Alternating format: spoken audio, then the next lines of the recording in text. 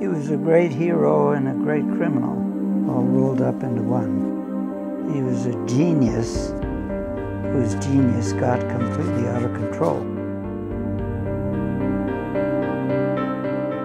You were leaving America behind you. Mm-hmm. Is there not pause for thought about that? Not a bit, not at the time.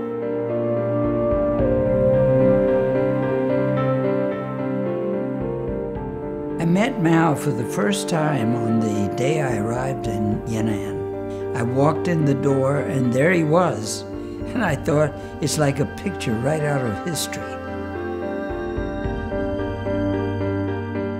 You have accepted a mission from U.S. imperialism to sabotage the Chinese Revolution.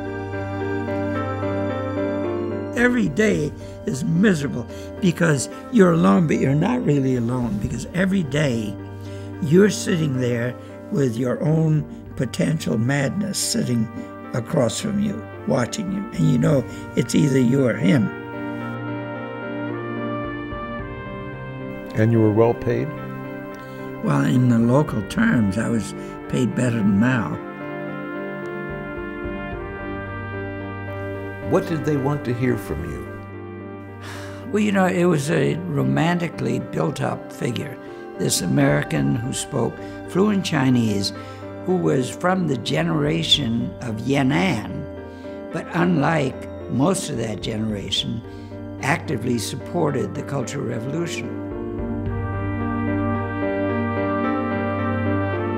A revolution is not like inviting guests to dinner. It can't be that civilized, that courteous, that gracious, that gentle.